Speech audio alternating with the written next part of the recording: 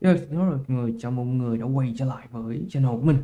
Mình là Ngài Hát và ngày hôm nay mình sẽ hướng dẫn cho các bạn cách để cài Minecraft server. Thì tập ngày hôm nay sẽ hơi đặc biệt một chút xíu đó là chúng ta sẽ không cài server plugins bình thường nữa mà chúng ta sẽ cài server mod.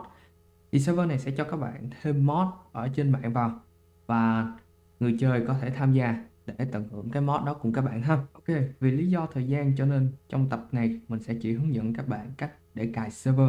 Còn nếu như các bạn nào muốn biết cách cài mod vào Minecraft, các bạn có thể để lại comment ở bên dưới rằng các bạn muốn mình làm một video về hướng dẫn cài mod.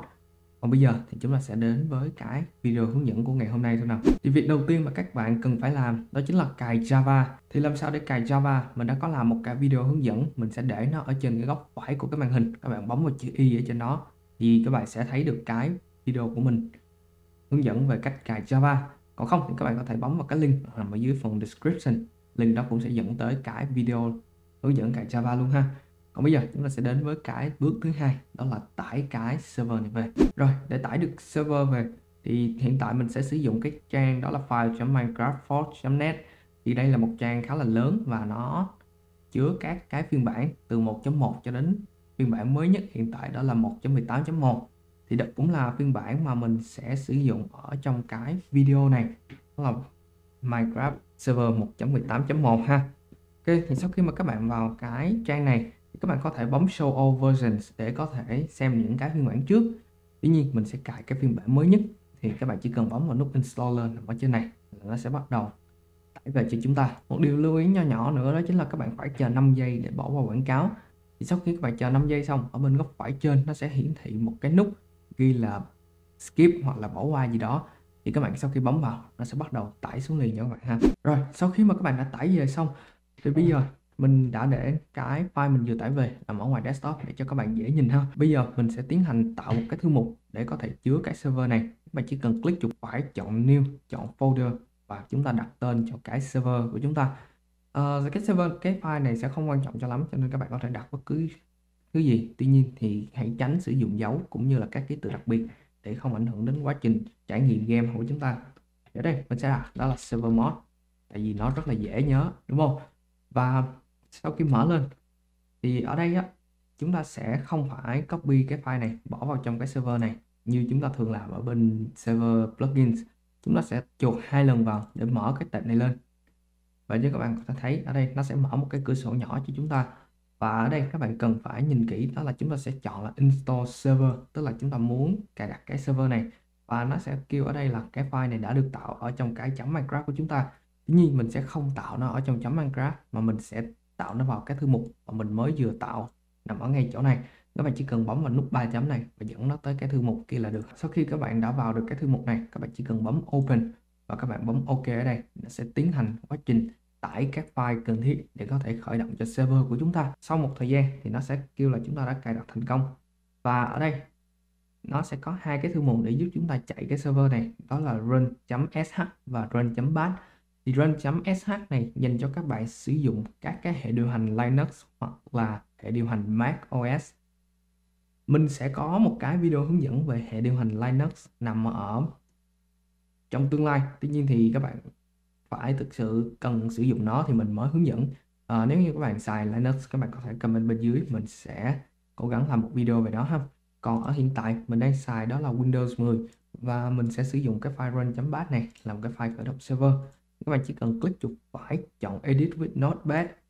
Thì đây là một cái chương trình chỉnh sửa tập tin rất là hữu dụng. Nếu như các bạn nào không biết cài thì mình sẽ để cái link nằm ở bên góc phải trên bạn có thể bấm vào cái chữ y đó hoặc là các bạn có thể bấm vào cái link nằm ở dưới phần description để có thể xem hướng dẫn cài đặt. Ở đây mình sẽ chúng ta sẽ có một cái dòng lệnh này. Thông thường cái dòng lệnh này sẽ là đủ để các bạn có thể cài được rồi.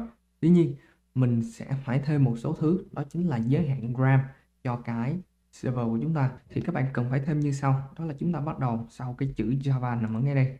Các bạn bấm nút cách ra và các bạn chọn vào nút uh, dấu nghịch ngang như thế này và các bạn bấm vào chữ x. X viết hoa dùm mình nhé. Và m. Và chúng ta sẽ để một cái s, tức là cái ram nhỏ nhất để nó có thể xài được. Thì ở đây, các bạn sẽ nhập vào tùy theo. Ví dụ như máy mình 16 GB RAM và thông thường thì người ta sẽ khởi động server bằng 2 GB RAM cho nên sẽ là 2048 MB hoặc là các bạn có thể ghi số 2 các bạn ghi chữ G tương đương với 2 GB vâng. và tiếp theo là các bạn sẽ cắt ra, ghi thêm một lần nữa, đó là XF tuy nhiên lần này chúng ta sẽ không ghi chữ S mà chúng ta sẽ ghi chữ X, tức là max.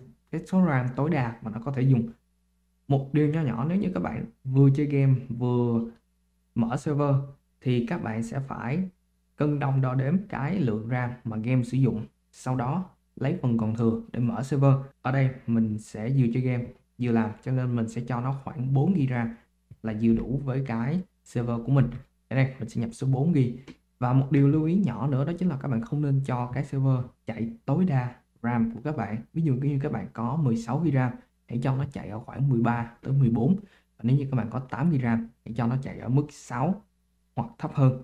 Thì để phần còn lại chúng ta có thể làm một số cái tác vụ thêm uh, trong trường hợp khẩn cấp. Nếu như các bạn cho nó nhiều RAM quá thì nó có thể sử dụng hết và gây ra tình trạng đứng máy. Ở ngay cuối cùng này chúng ta sẽ cần phải thêm một cái nho nhỏ nữa. Đó là ngay sau cái dấu sao này hoặc là ngay trước cái chữ pause này uh, nằm ở dòng trên của nó.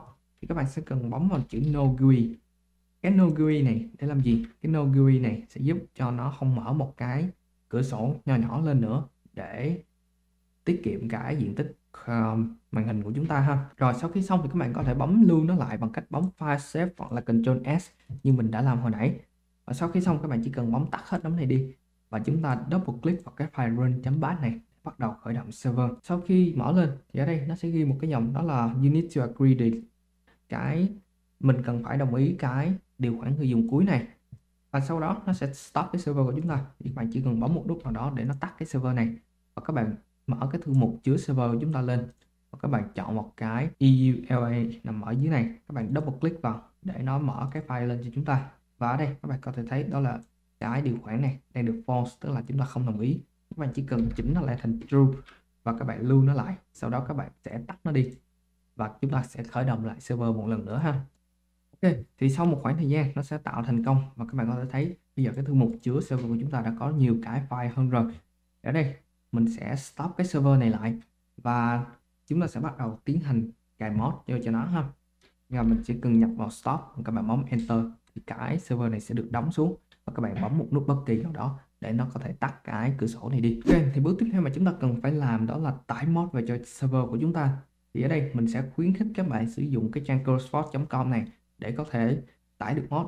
Trang này hiện tại đang có khoảng 94.000 mod nằm ở trên cái này thôi ha. Các bạn có thể thấy nằm ở đây 94.267 mod đang được hiển thị ở đây. Và các bạn có thể tải bất cứ phiên bản nào các bạn cần cũng được à, ở đây mình sẽ chọn đại một cái nào đó và xem chúng ta có cái phiên bản chúng ta đang cần hay không.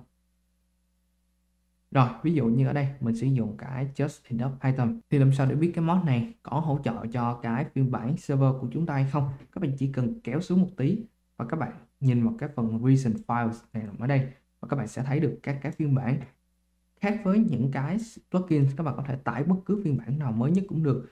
À, phiên bản dành cho Minecraft mod thì nó sẽ phải khác một tí. Nó là cái phiên bản mà các bạn tải về. Nó phải hỗ trợ cho cả Minecraft mà các bạn cái server của các bạn đang mở. Ví dụ như hồi nãy mình mở server 1.18.1 thì bắt buộc ở đây nó phải làm Minecraft 1.18.1 ở đây các bạn có thể thấy um, nó sẽ ghi cái phần này nó sẽ ghi là 1.18 không thôi. Các bạn có thể click vào nó. Nó sẽ mở lên một cái trang mới cho chúng ta để mình có thể kiểm tra được cái phiên bản mới nhất ha. Đây các bạn có thể thấy um, cái tên file tên này mới nhất uh, nặng bao nhiêu cập nhật ở đây cách đây bao lâu và cái phiên bản mà nó hỗ trợ đó là 1.18.1 thì sau khi các bạn đã chọn được cái phiên bản đúng rồi thì các bạn sẽ phải bấm vào cái nút download file nằm ở dưới này. Các bạn đừng click vào cái install này nha. Click vào install này nó sẽ mở một cái trang mới lên cho chúng ta chúng ta cần download nó nên là mình sẽ ấn vào cái nút này. Và sau khi ấn vào thì các bạn sẽ phải chờ khoảng 5 giây để quá trình tải về bắt đầu. Rồi, sau khi mà các bạn đã tải về xong, thì bây giờ chúng ta làm gì? Ở đây, mình đã kéo cái file này ra ngoài desktop cho các bạn dễ nhìn. Các bạn chỉ cần mở cái thư mục chứa cái server của chúng ta lên các bạn vào cái thư mục chứa mod nằm ở ngay đây. Các bạn chỉ cần click vào các bạn kéo cái mod mà chúng ta vừa tải về vào trong cái thư mục mod này ở đây ha. Và sau đó, các bạn chỉ cần thoát ra và bấm một cái file run.bat này một lần nữa để nó có thể khởi động server của chúng ta lên kèm theo đó là các bạn sẽ phải cài đặt cái mod này vào trong cái Minecraft của các bạn để có thể tham gia vào cái server này. Một điều lưu ý nhỏ nữa đó chính là đối với các bạn nào chơi Minecraft crack thì các bạn sẽ phải tắt cái online mod ở trong cái server này đi, nếu không các bạn sẽ không thể vào được cái server này. Thì các bạn sẽ chỉ cần mở cái server.properties nằm ở đây bằng cái notepad cộng cộng và các bạn sẽ kiếm cái phần nó tên là online mod bằng true này. Các bạn chỉ cần chỉnh sửa nó thành false để giúp cho cái cái người chơi crack có thể vào được tham gia vào cái server của các bạn. Các bạn chỉ cần mở server lên. Thì sau khi mà chúng ta đã khởi động server thành công, bây giờ mình sẽ vào Minecraft để có thể test thử cái server của chúng ta. Và ở đây mình đang xài đó là cái Minecraft 1.18.1 port phiên bản số 39.0.18 và nó sẽ ghi là cái bản này đang là bản beta cho nên là nó sẽ gặp lỗi trong quá trình chơi. Điều đó là đương nhiên. Tuy nhiên thì lỗi cũng không quá lớn cho nên là mình sẽ không đề cập đến nó. Ok thì các bạn chỉ cần bấm vào multiplayer hoặc là nhiều người chơi. Và ở đây nó sẽ kêu là cái này là của người thứ ba chứ không phải là của Minecraft, Mojang hay là của studio của Microsoft. Thì các bạn chỉ cần bấm tích vào đây và các bạn bấm proceed tức là đi tiếp. Và ở đây mình chưa cài cái IP cho server, cho nên là cái address của mình sẽ là cái localhost, và các bạn chỉ cần bấm join server. Thì bây giờ mình đã vào được trong server rồi, và bây giờ mình bấm chữ E lên thì các bạn có thể thấy mình đã có mod cài đặt vào ở trong này, và bây giờ mình đã có thể sử dụng cái mod này ở ngay tại cái server của chúng ta. Và đương nhiên là mình có thể off cho mình để có thể lấy được cái quyền admin ha. Đây và mình sẽ chỉ cần game mod creative. Đó, như các bạn có thể thấy là mình đã có thể bay và sử dụng Minecraft server này một cách bình thường. Và đó là cách cách các bạn có thể tạo được server. Như các bạn thích cái video này thì đừng quên nhấn like, nhấn subscribe và bật cái chuông lên để không bỏ lỡ những video tiếp theo. Còn bây giờ thì xin chào và làm người trong những video lần sau.